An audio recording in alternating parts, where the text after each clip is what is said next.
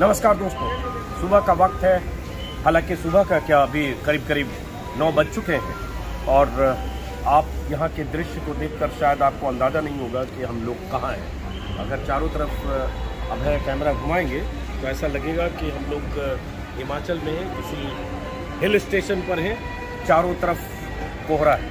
इतना घना घना कोहरा कि 25-30 मीटर ठीक से देख नहीं रहा। और जब हम लोग दिल्ली से चले थे पेरीफेरल हाईवे से, तब तो वहाँ 10 मीटर भी ठीक से नहीं दिख रहा था।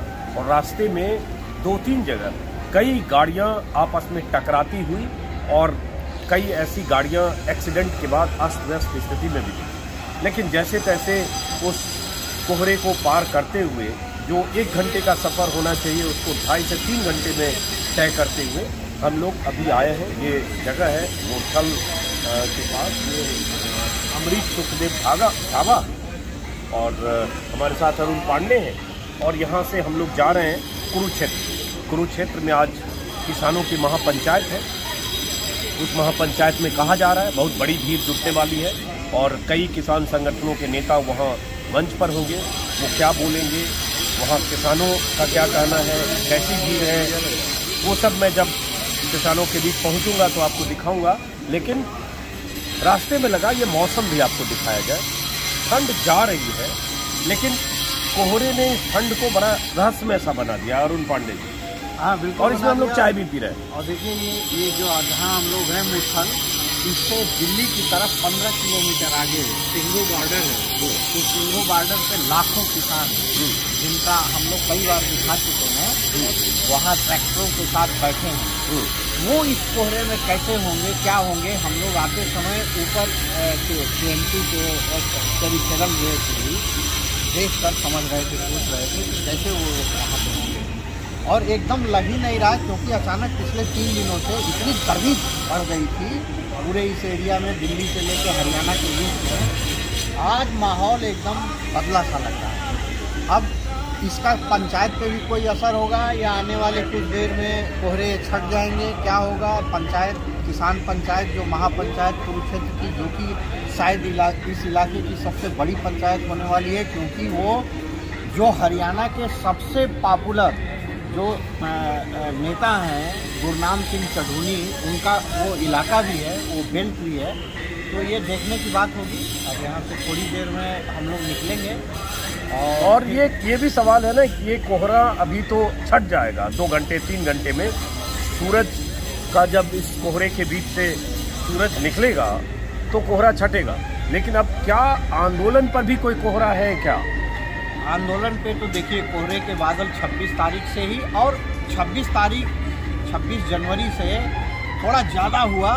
लेकिन अगर 26 जनवरी नहीं भी होता अजीत जी तो इस तरह के जब आंदोलन चलते हैं जहाँ की महीनों महीनों से लाखों लोग बैठे हैं ट्रैक्टर लेके बैठे हैं वो जब इतना कोई लंबा आंदोलन होता है तो उसमें कई दौर आते हैं। कभी वो आपको लगेगा अचानक कि वो बहुत आंदोलन कमज़ोर हो गया कभी लगेगा अचानक जोश आ गया बढ़ गया कभी लगेगा कि ये बहुत फैल रहा है कभी लगेगा कि कमज़ोर क्योंकि ये तो एक हमारे लिए भी अजूबा है क्योंकि पिछले 30-40 साल के अपने पत्रकारिता और समझ पढ़ाई के दिनों से ही मैं इतना बड़ा आंदोलन तो ना हमने देखा है ना आपने सही देखा है। सही कभी कोई किसान आंदोलन किसी ने देखा नहीं है। तो यह एक नया प्रयोग है। अब ये और और जिस किसान आंदोलन की लोग बात करते हैं अगर बड़ा आंदोलन जो टिकैत का था उन्नीस सौ अट्ठासी को का आंदोलन, जब चार से पाँच लाख किसानों के साथ टिकैत वोट क्लब पर आकर बैठ गए थे, वो आंदोलन छह या सात दिन चला था। और ये आंदोलन अब छिहत्तर दिन हो चुका है। और ये आंदोलन कोई एक जगह नहीं है, दिल्ली की हर सीमा पर। और उसके बाद कितने झटके भी बीच में लगे आंदोलन को, जिसका ज़िक्र छब्बीस जनवरी को करते हैं। लेकिन उसके बाद भी अभी भी किसान बैठे हैं इस ठंड में भी। इस कोहरे में भी आप कल्पना कर सकते हैं कि अभी तो चलिए, कोहरा है, ठंड उतनी नहीं है। लेकिन जब ज़बरदस्त ठंड थी, एक डिग्री, दो डिग्री टेम्परेचर और उसी ठंड में बारिश भी हुई, तब भी किसान लेकिन अब बात यही आती है कि क्या छिहत्तर दिन के बाद आगे का रास्ता, सरकार की तरफ़ से जो प्रधानमंत्री ने कल संसद में कहा, राज्यसभा में जिस ढंग से कहा, आंदोलनकारियों का मज़ाक उड़ाते हुए कहा आंदोलन जीवी है परजीवी हैं, और एक तरह से बहुत सारी ऐसी बातें कही जो एक प्रधानमंत्री को नहीं कहनी चाहिए, उस तरह से उस पार्टी के पुरोधा को, जो पार्टी आंदोलन के गर्भ से निकली। सतहत्तर में जनसंघ थी, जो जनता पार्टी के साथ सरकार में आई। 80 में भारतीय जनता पार्टी का उदय हुआ और भारतीय जनता पार्टी का इतिहास देखेंगे 80 से लेकर 2020 तक। न जाने कितने तरह के आंदोलन प्रदर्शन धरना में हिस्सा लिया। लेकिन आज अगर आप आंदोलन का मज़ाक उड़ाते हैं माखौन उड़ाते हैं तो मुझे लगता है आज़ादी के पहले का इतिहास, आज़ादी के बाद का इतिहास अलग अलग राज्यों में चलने वाले आंदोलन और 2011 का हुआ अन्ना आंदोलन। जिस अन्ना आंदोलन से यूपीए की विदाई की बुनियाद तैयार हुई और जिस अन्ना आंदोलन से बीजेपी का उठान शुरू हुआ, क्योंकि देश में एक विकल्प की तलाश हुई, वो भी बीजेपी उसका बेनिफिशियरी है उस आंदोलन का ग्यारह बारह का। तो ये भी सवाल है। और उसके बाद अब यही कि ये कोहरा क्या आंदोलन पर भी है या किसानों पर एक दबाव है क्योंकि छिहत्तर दिन हो चुके। लेकिन अगर दूसरे तरह से देखें तो जो आंदोलन दिल्ली की सीमाओं तक सीमित था दिखता था वो आंदोलन अब हरियाणा और यूपी के महापंचायतों की शक्ल में दिख रहा है। तो अगर देखें तो उसका विस्तार हो रहा है। और अगर हज़ारों लोग किसी पंचायत में जुट जाते हैं अभी हम लोग परसों दा, चरखी दादरी में थे उसके पहले शामली उसके पहले बिजनौर उसके पहले मुजफ्फरनगर और अब आज हम जहाँ जा रहे हैं कुरुक्षेत्र। तो अगर ये गाँव की तरफ़ जा रहा है, शहरों की तरफ़ जा रहा है, हरियाणा, यूपी की तरफ़ जा रहा है, इसका मतलब मैं तो इसको देखता हूँ आंदोलन का विस्तार हो रहा है सीमाओं पर जो हम देख रहे थे, वो सीमित दायरे में हम देख रहे थे। अब अगर गाँव में जा रहा है तो विस्तार हो रहा है बिल्कुल विस्तार हो रहा है और ये, बल्कि ये भी है कि इसमें हर हर कौम, हर जात के लोग अब जुट रहे हैं। पहले धीरे धीरे ये लगा था, जैसे कि कुछ पश्चिमी उत्तर प्रदेश, हरियाणा के जाट कुछ समुदाय के लोग पंजाब के सिख समुदाय के लोग ऐसा नहीं है। अब ये आंदोलन व्यापक हो रहा है धीरे धीरे और इसका विस्तार ये पंचायतों पंचायतें बता रही हैं। क्योंकि वहाँ हम लोग चरखी दादरी में जब गए थे तो खुद हमने देखा कि वहाँ जाट समुदाय के साथ साथ दूसरी जातियों के भी लोग सही बात है। ये सिग्निफिकेंट डेवलप तो दोस्तों फ़िलहाल इस दृश्य के साथ जो हरियाणा में आपको शिमला जैसा दिखेगा और हालाँकि मैं कहूँगा कि ठंड थोड़ी कम है, लेकिन फिर भी कोहरा है।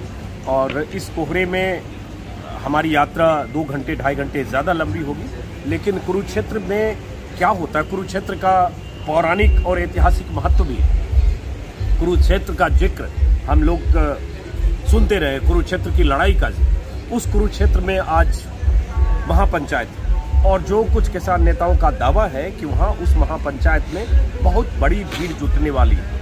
अब उस भीड़ से कोई संदेश या संकेत निकलता है और ये सिलसिला लगातार है। अभी बीच में, परसों मेवात में भी महापंचायत थी और अभी जो मुझे किसी ने किसी किसान आंदोलन के किसी प्रवक्ता की तरफ़ से जानकारी मिली कि अगले पंद्रह दिनों तक लगातार महापंचायतें हो रही हैं, क्योंकि किसान नेताओं को भी इस बात का एहसास हो गया कि जब तक ये आंदोलन टिकरी सिंघू गाजीपुर से पीछे लौटकर हरियाणा, यूपी के गाँव में नहीं पहुंचेगा।